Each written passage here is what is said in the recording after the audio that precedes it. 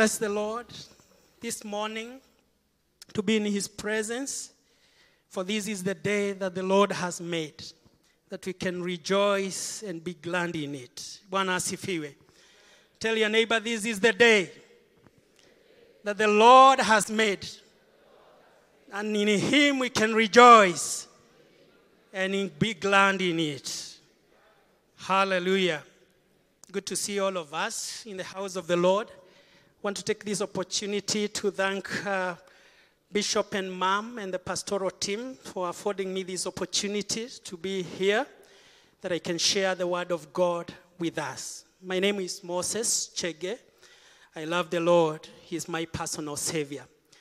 I know my family is around, and I want just to acknowledge my wife who is in the service, and want to thank God for her and to thank God for my family, that because of them, I am who I am today. Bwana asifiwe sana. Uh, we'll be bringing the word of God, and uh, I will be reading my title message today. I have entitled it to what we are the theme of this year, and the message today is on laying off so as to amount, or laying off to, um, to mount up. And the theme of the year has been on mounting up. And I want to believe that so much has been talked about mounting up to a point of us asking ourselves, what are we mounting up to? And I want to think or to imagine that this question is to all of us that at one given time you're asking yourself, what do I want to amount to? Because the theme can be we are mounting up. But what are you mounting up to as an individual? But the Word of God has so many things that it talks to us about on how to mount up. And I would be picking the Word of God from the book of Hebrews, chapter 11, and from verse 1 to verse 3. Hebrews 11, from verse 1 to verse 3. And this is what the Bible says. Now, faith, Hebrews, I read, this reads here. Yeah. Therefore, 11, 12, not 11, sorry. 12, chapter 12. Thank you. Therefore, we also, since we are surrounded by so great a cloud of witnesses, let us lay aside every weight and every sin which so easily ensnares us, and let us run with endurance the race that is set before us. Looking unto Jesus, the author and the finisher of our faith, who for the joy that was set before him endured the cross, despising the shame, and has sat down at the right hand of the throne of God. For consider him who endured such hostility from sinners against himself, lest you become weary and discouraged in your souls. Praise the Lord. I think when we read that part of the Word of God, there are so many things that it talks about as to what we should do or to what a believer should do. And thinking of this, then it starts by saying, since or therefore, or since we are surrounded by a cloud of witnesses. And that's to say that you are in a race or you are in a walk, and the walk that you are in is the walk of faith. But in the walk that you are in, the Bible starts, or here Paul is trying to tell us that even as we walk, we are surrounded by a cloud of witnesses. So to say that you are not alone, there are people that are looking up to us to see how do we carry about or how do we go on with our salvation or how do we live our salvation. But it continues to say, then therefore throw off or lay everything that hinders. And why should it should we lay off or should we put off everything that hinders us? It is because there are things that come our way that cause us not to be able to run that race that is marked before us. And he says one of those things that cause us not to do so is sin that so easily entangles us. And for that reason, then it means that all of us, at one point or another, as a believer, and even if not yet a believer, there is a race that God has set before us. And in that race, God wants us to run. And as we run that race, He realizes there are things that can make us not to run that race as we ought to. And the thing that has been picked first is that there are many things that entangle us. And one of those things that entangle us, that make us not to run, is that sin that he says that so easily entangles us. And we may ask ourselves, do I have sin? And is it possible that I could have sin? And it's possible. It is possible that since we are human beings, there are many times that we could have sin that so easily entangles us. But we continue to read and to pick from the same verse, and we realize Paul saying, Run then with perseverance that uh, the race that is marked before us. And as we think of then running with perseverance, it says things will not just happen. For you to be able to run the race that is before you, there are things that you'll have to do different from every other person. Because we can run a race, and I think in this country we have enough examples of people that have run races and they have won the races. And if we maybe pick from them when we see them training, when we see them practicing, uh, waiting to run a race that is before them, we see them enduring. We see them sweating out so that they can be prepared for the race that is marked before them. But I want to submit to us that the race we have been called, there is no practice. There will be no rehearsals like I'm running today because tomorrow I will start my salvation. You are called into salvation, and there and then you started your race. Or is there any one of us who has been given a time to rehearse? Have you been rehearsing that now I will be starting my salvation a day after tomorrow or next year? I want to believe all of us found ourselves in the race. And that race is that the race that Paul is telling us we need to run with perseverance. But what would cause us to run that race with that perseverance? Paul tells us of Jesus, and he says, looking into Jesus, the author and the perfecter of our faith. For the joy that was set before him, he endured the cross. Meaning, for you to run that race, there has to be something that you have to look up to so that you can endure that race or you can be able to carry on with the race. But interestingly, even as we think of this year, and mounting up. Then he finishes that portion of the scripture by saying, Consider him who endured such shame, that you may not grow weary and lose heart. And I think that ties back to what the Bible is telling us in the book of Isaiah. That for us to be able to mount up, for us to be able to get to what God wants us to become, then we have to look up to God. We have to trust Him so that we may not grow weary. Because He says, even the youth, even the young people grow weary. They can faint. But them that hope in the Lord, them that trust in the Lord, then they will get wing or they will renew their strength and they will soar up with wings. Do these wings just grow? You ask yourself, have we seen any one of us with wings that they are sewing up?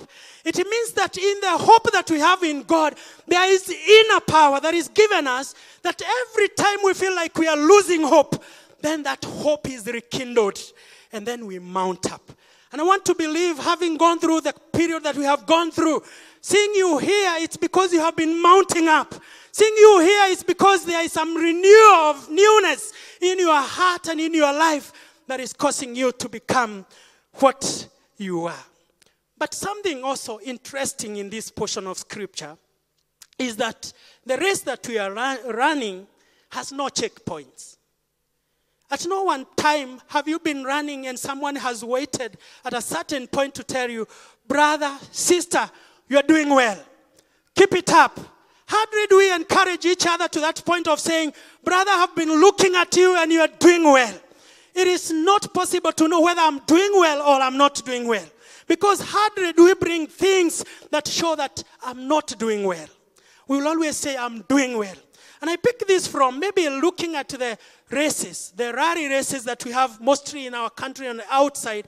There are checkpoints where drivers are told, You are doing well. You are gaining points. Keep on moving. You are not uh, battery off. You are within time. Keep moving. But I want to submit to us that in the race that we are in, there are no checkpoints. Nobody has told you how far have you come since you gave your life to Christ. Are you getting closer or you are, you are drawing far off from where God expects you to be? And so that is even worrying, knowing that there is nothing that indicates to me today that I have done so well to be where God wants me to be. Only that. Your soul and your spirit can testify whether we are drawing closer to God or we are drawing further away from God. But God has allowed each one of us to self regulate, to know what you are doing, how you are doing it. And therefore, He has given us things that we should do so that we can tell ourselves, how close am I getting to God? And some of the things that He allows us to do is He has allowed us to pray. And in prayers, we know whether we are connecting with God or whether we are not connecting with God.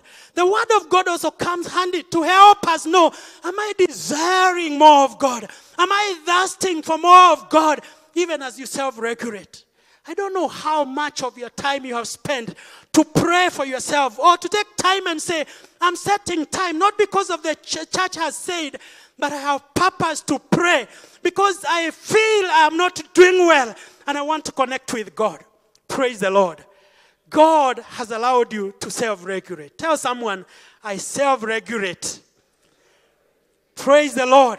God has given you to know where, how far you want to go, how close you want to become to Him. He has allowed that to be done by you and to be done by me. And the Bible in book, the book of Ezekiel, without even reading, it tells us of Ezekiel and he's told to measure or to go into waters, and he's asked to go there. And uh, as he entered, then every time he entered, it's like measuring the level of godliness in him.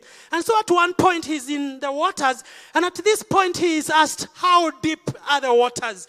And he says, The water is just, just by ankle deep. And then he's told, Move on further. And he moves further and he says, It's at uh, knee deep.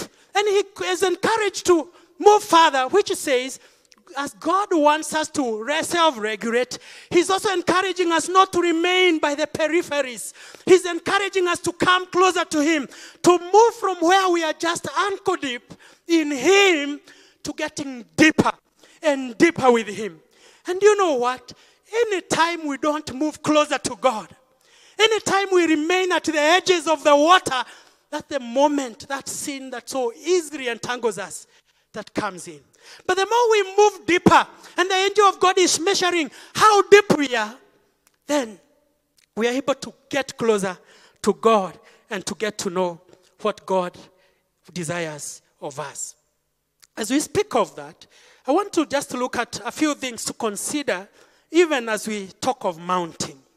And I want to pick an example, and I want to think of uh, some times I have thrown, and I have uh, realized that going at the airport and looking at the planes there, they all look great.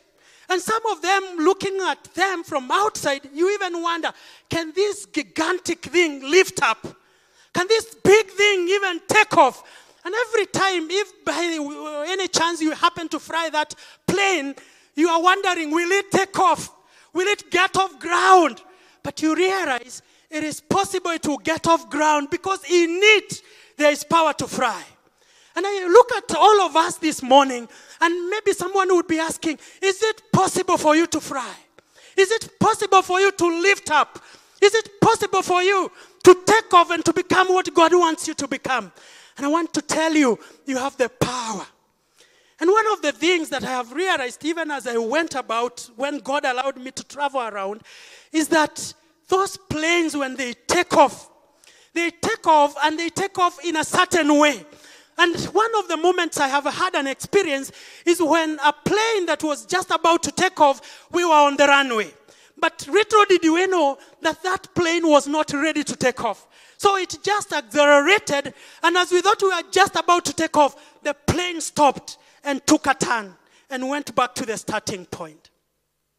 And it was so scary because at every given time a plane wants to take off and it runs the whole runway, you don't expect it to stop. You expect it to turn to take off and go. But we turned back and we started afresh. And I was just thinking of that and I felt it is possible even us as believers. There are those moments that we have prepared ourselves to take off, but sometimes it has not been possible for you to take off. But I want to encourage you that it's possible to go back to the starting point and prepare yourself afresh and say you are taking off because the Lord knows you have the potential. Tell someone, I have the potential. I can take off I can mount up because the Lord has given you that power. It is chaos to imagine that you can always be trying. You can always be thinking that you're taking off, but you're not taking off. But I want to tell you that the Lord knows, even though things may look like you cannot take off, it is possible that you can take off. Maybe it will just require us to, take, to go back to the starting point. It may just require you to ask yourself, what is it that makes me not to lift up? What is it that makes me not to mount up in every area of your life? Because the Lord knows you can take off. The Bible tells us of that in Isaiah, and it says in the same part that we have read many times, it says, But they that wait upon the Lord shall renew their strength. They shall mount up with wings as eagles. They shall run and not be weary, and they shall walk and not faint. When we think of that, it then says there is a sequence of doing things. To God, you don't just run. You don't just start by running or walking. But the Lord is saying, them that hope or them that wait upon the Lord. What would be the difference? You know, the world does things just for the sake of doing them. But you see, we have started by saying that there is a cloud of witnesses that is surrounding us. And that crowd is looking at how you will mount up. And you know, in the world, everything goes. It's every system goes. Because the end justifies the means. But in our case, then the Lord expects us to first come to Him and say, I'm waiting on the Lord. And so when you ask yourself, what is waiting upon the Lord? Waiting upon the Lord is looking eagerly for with or lay in wait or linger.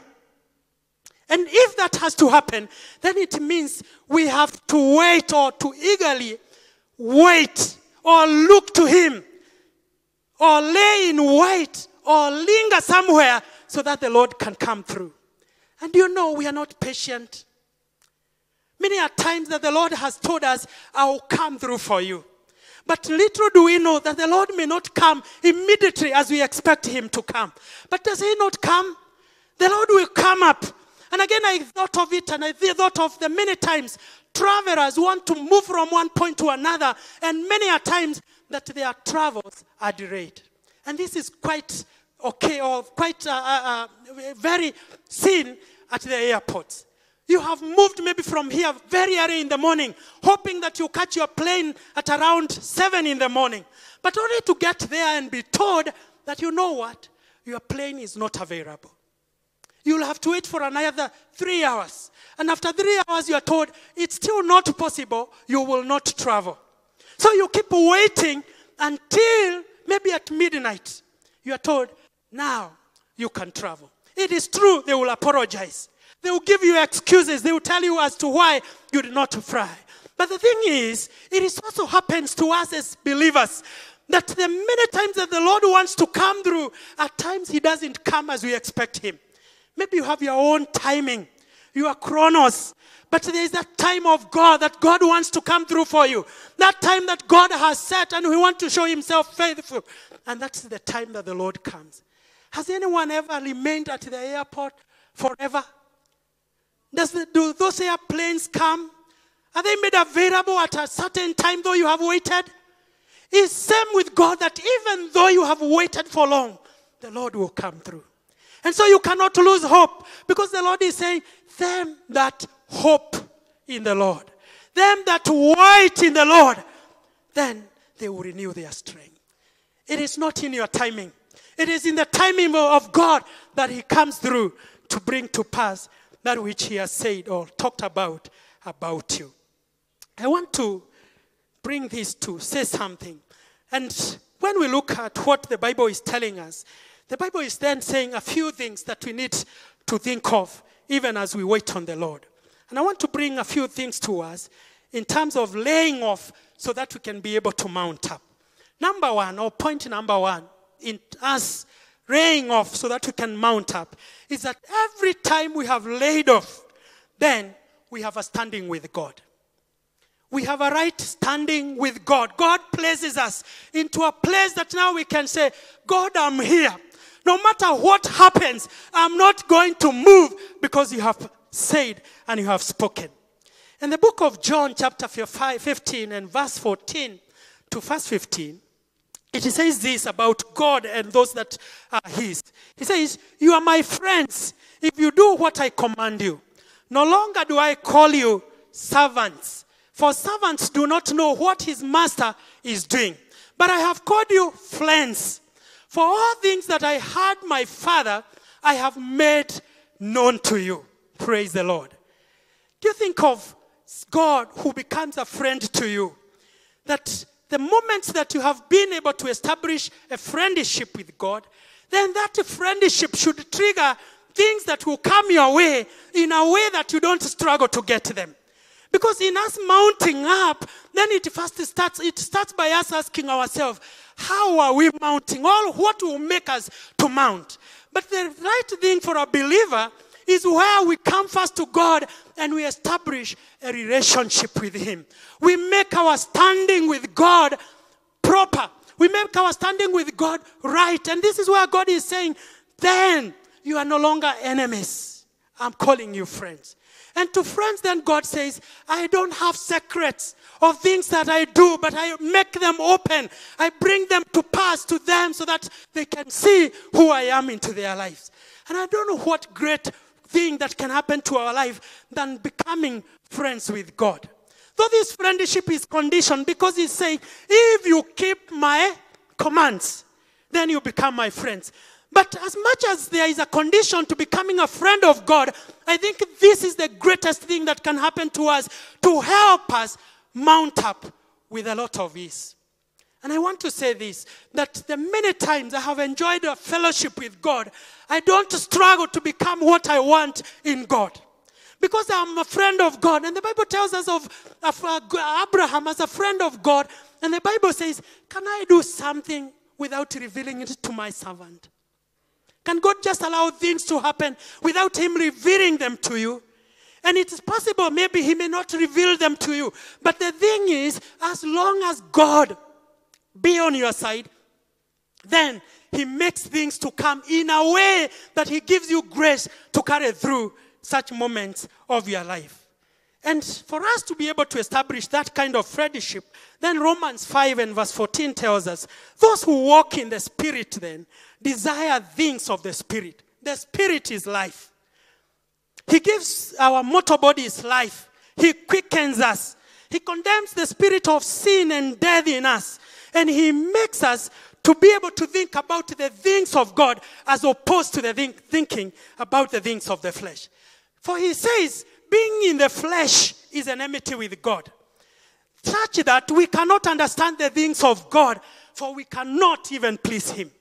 So, for us to be able to move to a point where God wants us to become friends, then we have to become that person that walks in the Spirit so that we can have right standing. You cannot please God, no matter how you try it. As long as you're not walking in the Spirit, we cannot please God. Could you be a friend of God so that you cannot miss His secrets? He is willing to reveal this secret.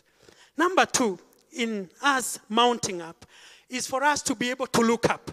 And in looking up, the Bible tells us in verse 2 of the part of the Bible that we read, Hebrews, it says, uh, it says that as we run the race with endurance, as Jesus ran the race, He is calling us to look up unto Jesus, the author and the perfecter of our faith.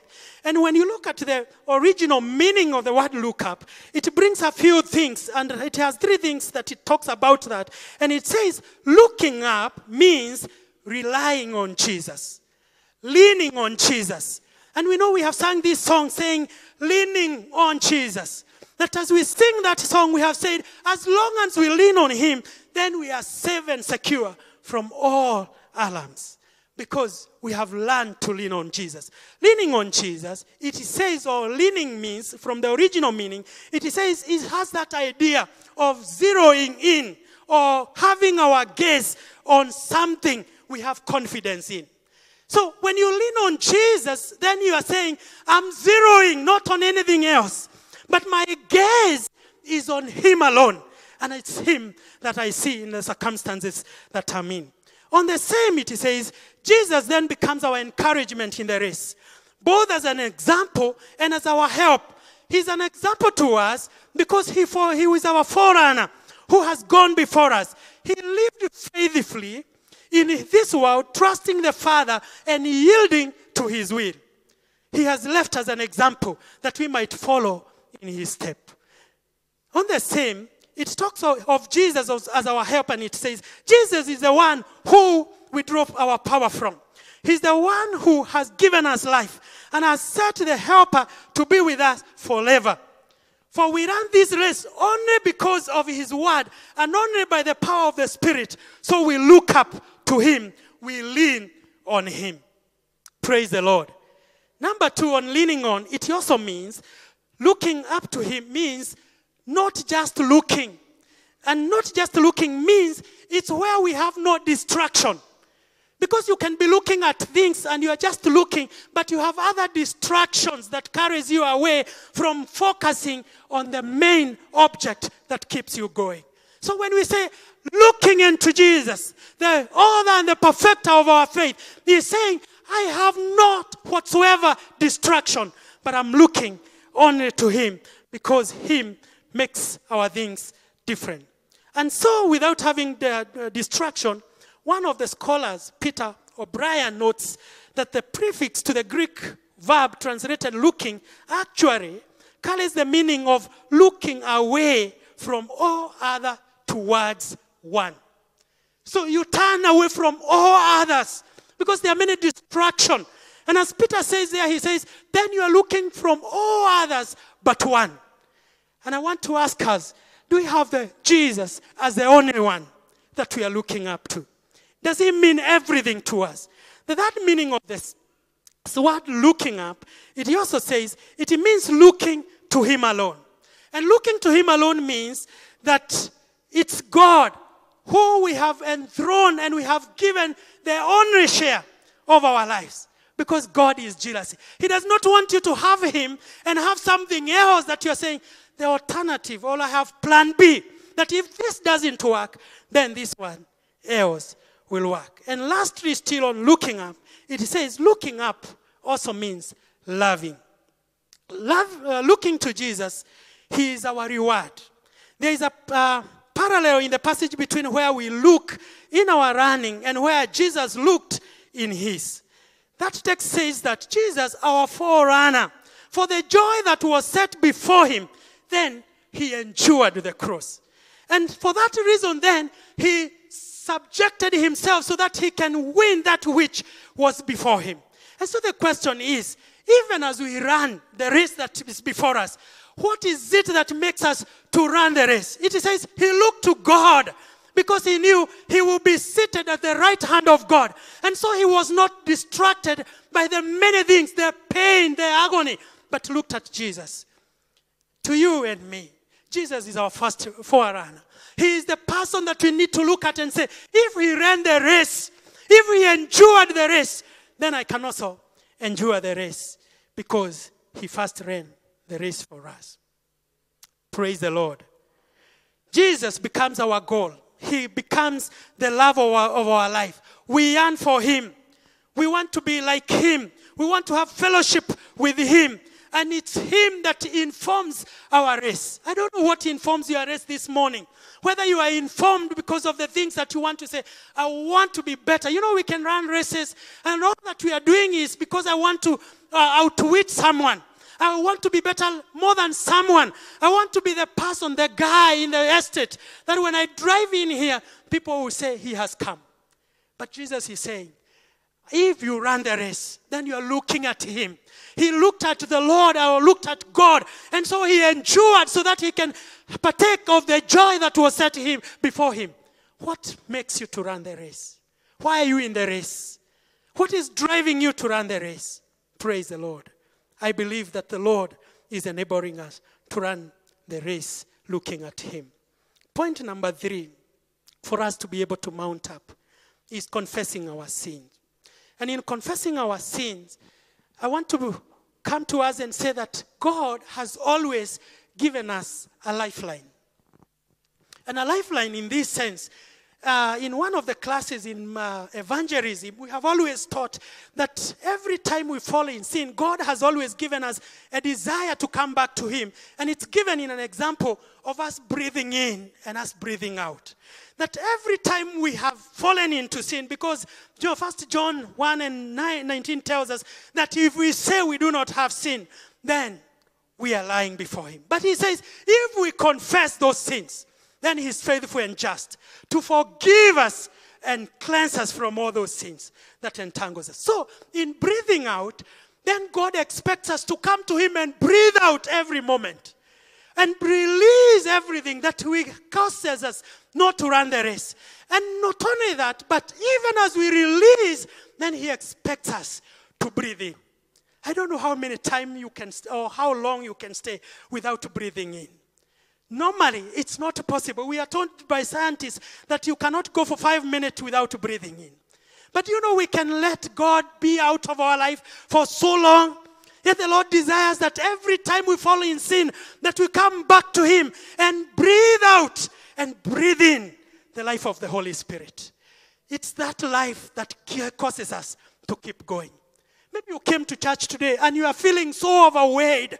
You came to church today and you are saying, This entanglement, this thing that has held me so back. But the Lord is giving us an opportunity this morning that we can come to Him and say, Lord, I release. Lord, I partake that which you have because His Spirit is here. And all He wants us is to partake of Him. And I think those exercises that we used to do and we are told, breathe in, would come so handy in our spiritual life that we can always wake up every morning and tell ourselves, I'm breathing in the life of Christ into my life so that the day can be better, the day can be beautiful. Praise the Lord. Have you breathed the life of Christ? And if by any chance you have not, God is giving us an opportunity that in our waiting, it is then that we give our we get our renewal. And this renewal don't just happen. It comes by indulgence. And in that indulgence is where we seek God. And as we seek God, we get to know Him and we get to be known by Him. I don't know how good it would be that the Lord says, I know Him. When you can stand and so the Lord is thinking of me because He knows me and He knows me by name. Lastly, in us lifting up, the kingdom of God, God requires us to seek His kingdom first. I know we have so many things that come our way every other day.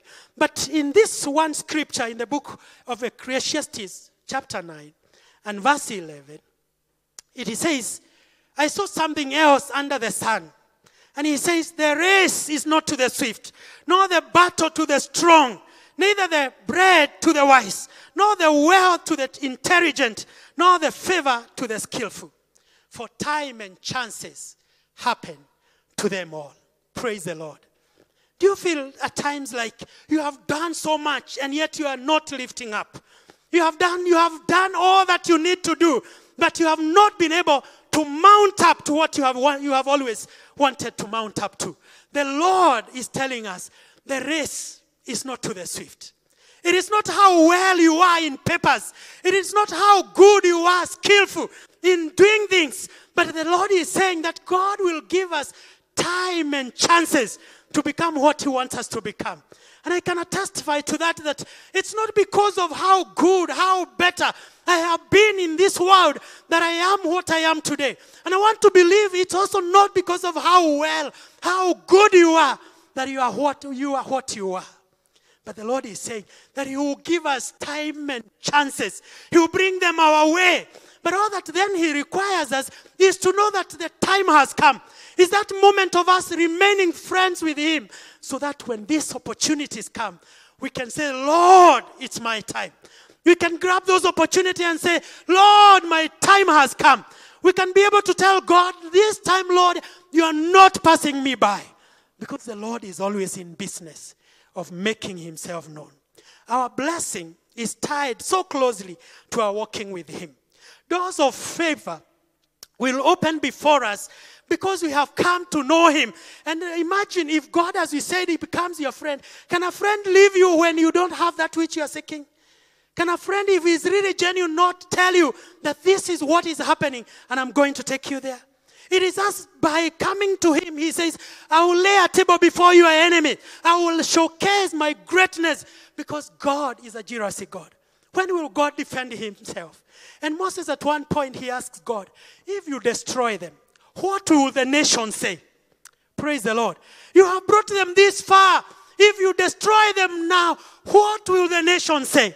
They will say that you delivered them and you have brought them to kill them here.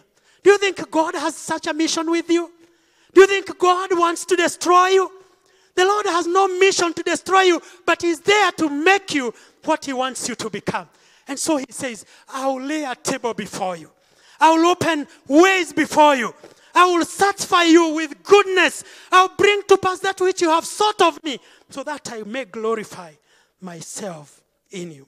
And lastly, he says, My eyes are moving across the earth, looking for someone that he may show himself righteous.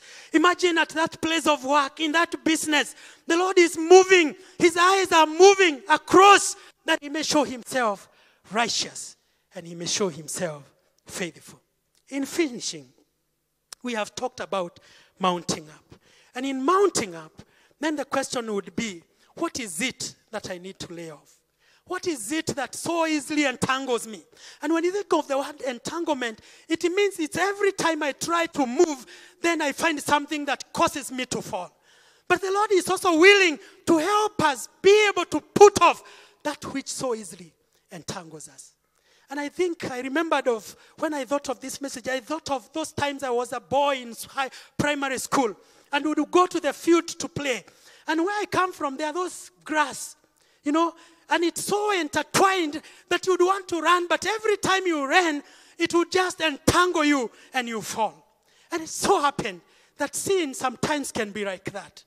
It can be like that grass that every time you think your way is now clear, you just realize something else has just cropped up. But the Lord is saying He has a way of helping us to disentangle ourselves so that we can run the race that is coming, that is before us. He promises. That promise is activated even as we look at the promise giver because He says, He who has promised, He grows no weary. His understanding is no, cannot be fathomed. He gives strength to the weary and increases the power to the weak. That's the God that you have come to worship this morning. That's the God that is in this place this morning. That's the God that wants to meet with you. And in finishing, want to bring to us and ask ourselves, even as we stand before God, and have we had moments to breathe? Sometimes maybe we are here and you have not asked the Lord to let you go. I look at moments that have gone to God and I'm so far away from Him. But every time I have approached His throne, and then I live there energized. And I thought of it and I thought of this advert of Energizer battery. And there's this battery that runs, and at some point it runs out of energy and it's just full. But something just happens, and that battery is energized again, and it runs as it was expected. We are the same that we need to go to God every moment, that we can be energized of Him, that as we come before Him, then He gives us wing, that we are able to mount up. What is it that will stop you this week from mounting up? Is it that fear? Is it that intimidation? Is it that guilt? Is that that worry that you have that says you cannot make it? Is it because people have despised you? The Lord is saying, I give strength to the weary my understanding cannot be fathomed. Meaning, He knows better than you know. Meaning, He knows you than you know yourself. And this morning, He's able to give you the strength. I would want us to stand. And as we stand, we will be praying to ask the Lord to help us so that where we are down, where we feel like we cannot make it, then He can come through for us and help us to become what He wants us to become. With every eye closed, we want to pray. And I want to ask, just in the case you'd want to be joined in this prayer, there is the Lord who wants to cause you to become what He wants you to become. You can breathe out this morning. Everything. You can release it. You can tell the Lord, I surrender, Lord. I give it up so that you can have your place in me. And it's possible that you could already have mounted up. But even in mounting up, I finished by giving us so us an illustration that happened one when I traveled. That we just took off somewhere, and just when the pilot said now, or the, the pastor said, we are now starting to cruise, then another message comes and says that we are going back to our place of departure because the door seals were not properly closed. And I want to tell you that was the most scariest moment of our life because we could not imagine why on earth would the seals of a door not be closed, yet we are already in the air. But this is the same thing that you could have mounted up already, but you have seals that are leaking because something is not rightly closed and that can make you to come back to where you started. This morning, we can close the seal because the Lord is here to make it possible. Father, Lord, in the name of Jesus, I want to give you thanks for a moment as such that we can come to God who cares. We can come to our friend. We can come to one who says, Come. Who can come to one who says, Let us reason together.